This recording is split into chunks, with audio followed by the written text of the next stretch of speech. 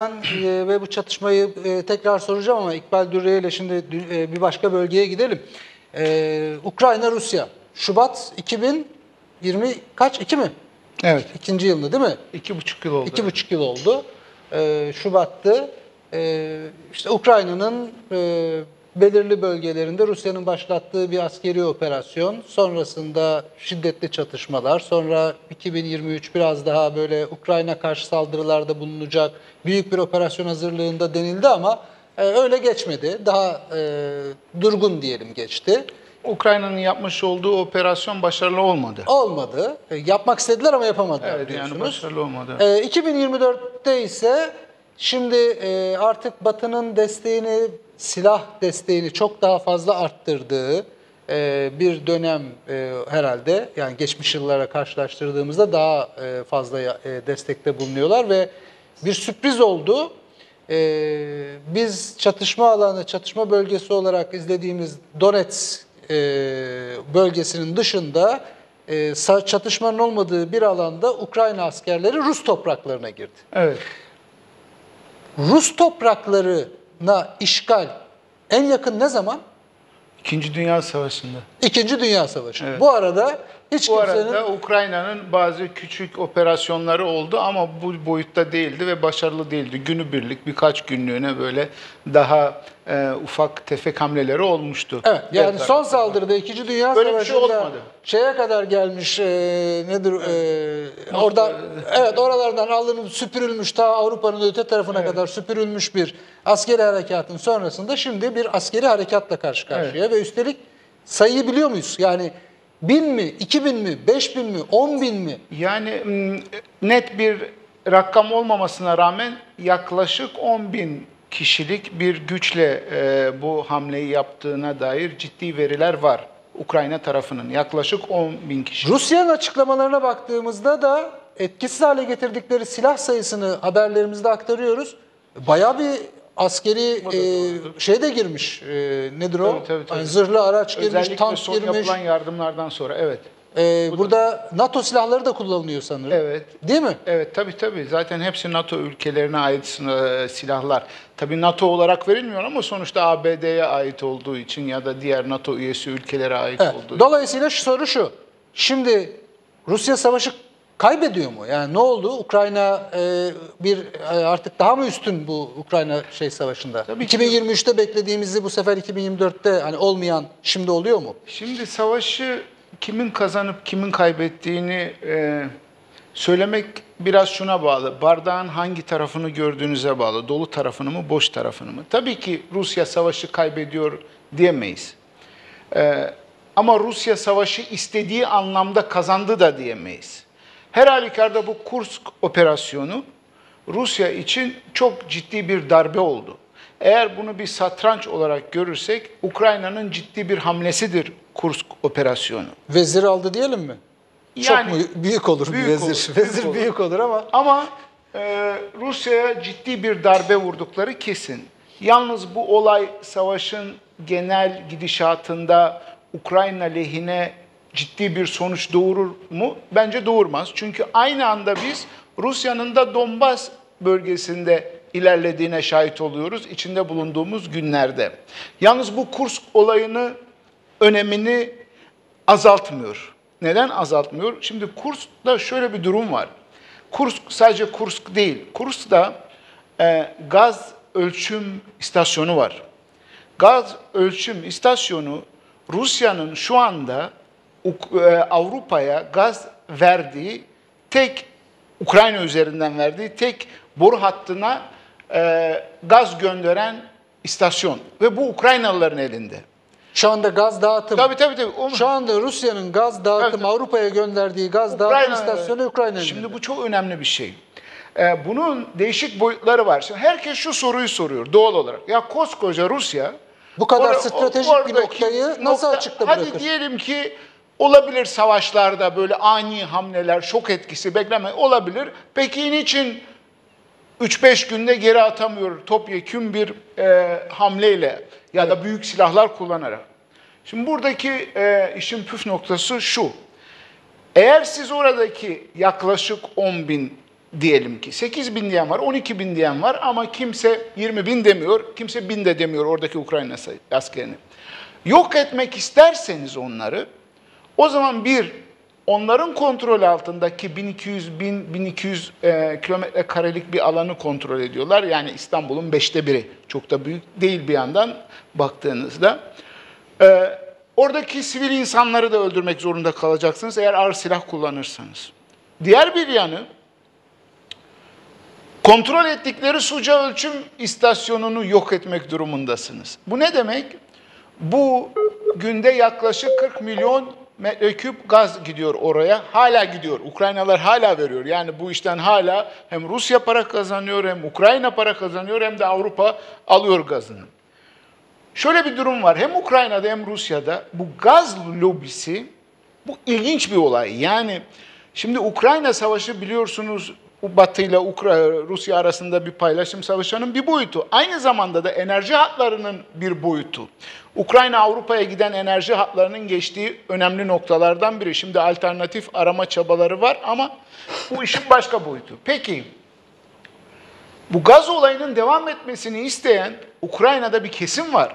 Dokunmayın borularımıza diyor. Rusya'da da var. Şimdi Putin'e Gazprom diyor ki sen diyor belki yapabilirsin, burayı yok edebilirsin ama sonra bizim halimiz ne olacak diyor. Yani burayı yok ettiğin zaman bizim Ukrayna'yla, e, Batı'yla, Avrupa'yla gaz verecek başka bir noktamız şu anda yok. Yenilerini yaratmamız lazım Türkiye üzerinden, Azerbaycan üzerinden falan o ayrı bir hikaye. O yüzden iş burada çıkmaza giriyor. Ki bu yüzdendir Ukrayna'nın bu hamlesi stratejik olarak başarılı sayılıyor. Ve bu yüzdendir Putin'in kızgınlığı. Bu tür olaylar olduğu zaman Putin yani şok etkisi Rusya açısından şok etkisi yaratan olaylar olduğu zaman Putin ilk 2-3 gün susar. Hep böyle. Bu olayda da sustu. Daha evvelki işte Prigojin olayında da daha evvel e, bir ara e, Kursk, yine Kursk isminde efendim gemi batmıştı denizaltı. Hmm. O zaman da 2-3 gün susar. Bu 2-3 gün susması şu demek. Bir kere kendisi de bir şok yaşıyor. Yani e, neden böyle olduğunu anlamakta zorlanıyor. Ve kimi suçlayacağının kararını tam vermemiş. Bu süre zarfında onun hesabını yapıyor. Yani burada bir iç hesaplaşma olacak. Putin bu olaydan dolayı birilerine fatura çıkartacak. Çünkü tamam oraya Ukrayna güçleri yetişmiş elemanlarıyla askeri personeli, personeliyle, Batı'da desteğiyle büyük bir ihtimalle bir hamle yaptığında Rusya o anda oradaki bulunan kısıtlı sayıda askerleriyle e, karşılık verememiş olabilir. Önemli olan bu değil. Önemli olan o aşamaya gelene kadar niçin Rusya'nın böyle bir hamle olacağından haberi olmaması. Bir kere istihbarat zafiyeti tabii, var. Tabii ciddi bir istihbarat zafiyeti. Yani bunu Ruslar da söylüyor. Ee, yani bunu hiç kimse Rusya bu basit bir olaydır, dikkate almayalım öyle bir şey yok. Zaten Rus basın yayın organlarında bu olay çok ilginç. Sanki bir doğal afetmiş gibi böyle bir algı var. Yani işte insanlar kimi rakamlara göre 120 bin, kimisine göre 180 bine kadar insan o yerlerinden daha iç bölgelere kaydırılıyor. İşte bunların sevkiyatı, bunlara insani yardım. Bitti mi o sevk şey? Hala devam ediyor devam ama ediyor. ilk bundan geçen haftaki gibi yoğun şekilde değil. Daha Çünkü şöyle düşünüldü yani bu sivil nüfusu ya Putin bir askeri harekat yapamıyor. Çünkü sivil nüfus var dediğiniz Doğru. gibi. Sivil nüfusu boşaltacak. Ardından e, bir askeri harekat Tabii, gerçekleştirecek. Tabii. 18 gün oldu yani. Tabii tabii. Yani e, bu, bu şekilde lanse Böyle ediliyor. mi olacak peki? Yani Şimdi bilemiyoruz Suca'dan eğer vazgeçerse Putin yani oradaki gaz dağıtım e, istasyonundan ve ora, o arada da bu insani sivil kayıplar konusunda bir anlaşma olabilirse ki olabilir neden? E, mesela bugün bir esir değiş tokuş oldu. evet. Yani orada yakalanan Rus e, mecburi hizmet yapan askerlerle e, Ukrayna'nın e, Rusya'nın Sınırı yakaladığı geçen. Ukrayna arasında bir esir değiş tokuşu oldu. 150'şerdi herhalde ya da 125 mi? 115, 115, 115 diye. Demek ki demek ki böyle bir diyalogla anlaşılıp bir geri çekilme olmazsa ki bu çekilme olabilir. Bu dediğim gaz lobileri devreye girerse. Hani savaş savaş da paralar gelmeye devam etsin şeklinde böyle bir anlaşma olabilir. Ama eğer bu olmazsa e, Putin şu kararı vermeli. bu işten vaz mı geçecek yoksa vazgeçmeyecek mi? Şimdi bunu bu konuya girersek işin uc- ucuna Orta Doğu da giriyor, Azerbaycan e, seyahati de giriyor, Türkiye olayı da giriyor anlatabiliyor muyum? Bunun kararını Putin vermiş değil bence. Şu anda hala vermiş değil. E, bir de şu önemli. Bence burada hani ABD'nin de biz bilmiyorduk de- demesi belki bileni vardır, bilmeyeni vardır. Ama önemli olan şu. Bu ne zaman oldu biliyor musunuz? Tam da Doha'da Ukrayna ile Rusya arasında bir görüşme olacağına dair söylemlerin hızla yayıldığı bir dönemde oldu. Resmi değil ama büyük bir ihtimalle bu böyle. Ve hangi konuda olacaktı bu görüşmeler? İki ülke birbirlerinin enerji hatlarına ve altyapılarına saldırmayacak bundan sonra. Böyle bir süreçte tam da enerji hatlarına Ukrayna tarafından saldırı oluyor. Bu bize neyi hatırlatıyor?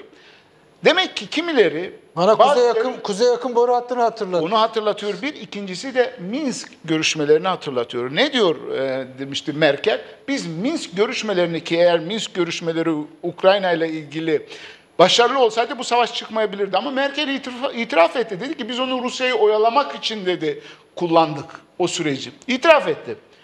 Şimdi demek ki bu tür bu görüşme olayları var ya hani yapalım edip demek ki bunlar gerçekten de bir oyalama taktiği. Genel tabloda bütün bu görüşme trafiği o ileri gitti, Ruslar geçti, üç aşağı beş yukarı şunu gösteriyor. Rusya üzerinde o yıpratma siyaseti devam ediyor. Şu aşamada bu savaşı bitmesini istemeyen batılı bazı güçler var. Benim kanaatim subjektif olarak bu İngiltere, ABD'den çok İngiltere. Ama e, her halükarda nasıl ki demin Musa Bey çok güzel bir şey söyledi. Yani kimse ortak, savaşların ortak özelliği. Bu da aslında bize genel tabloyu çok iyi gösteriyor. Savaşı yapanlar, fiili olarak savaşın içinde olanlar savaşın nasıl gideceğinin hesabını yapamıyor. Bugün mü bitecek ne olur? Neden? İki tarafta da, iki bölgedeki çatışmaların arkasında büyük güçler, belirleyici güçler olduğunun bundan daha güzel bir kanıtı olamaz. Çünkü bugün mesela Orta Doğu'yu biz konuştuğumuz zaman niçin bilemiyor? Çünkü Netanyahu gibi kafayı bozmuş, bence sıyırmış ama ideolojik olarak kendi açısından sağlam bir duruşu olan, yani Netanyahu deli değil, biz faşizan bir taktik uyguladığı, uyguladığı için tamamen reddediyoruz, naletliyoruz onun, lanetliyoruz onun politikasını ama adam bir ideolojiyle hareket ediyor. Ve bu ideoloji dediğimiz o genel tabloda ABD'nin Orta Doğu'daki ve genel bölgedeki politikalarıyla öyle bir uyuştu ki yani hatırlar mısınız film vardı aynı adlı eserden e, uygulanan sinemaya Kusursuz Fırtına. Yani bir kusursuz fırtına havası yakaladı Netanyahu. Orta Doğu'da yakalanan durum kusursuz fırtına. İşte bu kusursuz fırtına benzeri bir durum burada da var. Yani olayı kusursuz fırtınalar şöyle biter. Bir içindeki gemiyi batırır. Muhakkak kim varsa. Birisi birisi batacak. İkincisi ancak şu şekilde biter. Bu fırtınayı yaratan iki güç. Sıcak, soğuk, artı eksi. Bunlardan birinin enerjisi tükenecek. Bunlardan birincisi enerji. Hemen Orta Doğu'ya da aynı şekilde bakıyorum. Bu uzayacak, barış falan yok böyle bir şey. Devam edecek ve nereye gideceği öngörülemeyen bir şey. Aynı şekilde Ukrayna içinde. Ama Ukrayna'da şöyle bir durum var. Orta Doğu'dan farklı olarak. Ukrayna'dan ABD alacağını büyük ölçüde aldığı için ABD Ukrayna savaşını bitir dondurma yönünde biraz daha inisiyatif gösterebilir ki onun bu pozisyonunu Orta Doğu için söyleyem, söyle, söyleyemeyiz. Anladım. O yüzden e, durum Ukrayna savaşı bağlamında Rusya'da bu şekilde. Anladım. Daha soracaklarım var. Çünkü e, hem Zelenski'nin açıklamaları var. Yani bizim kurstan çıkmamızı istiyorsa, e, o da işte bir barış masası kurulmasını istiyorsa e, kur- bir barış masası kurulmalı diyor. Putin ya barış masası kuracaktık ama bak bunu yaptınız. Dolayısıyla şimdi nasıl kuracağız bu barış masasını diyor.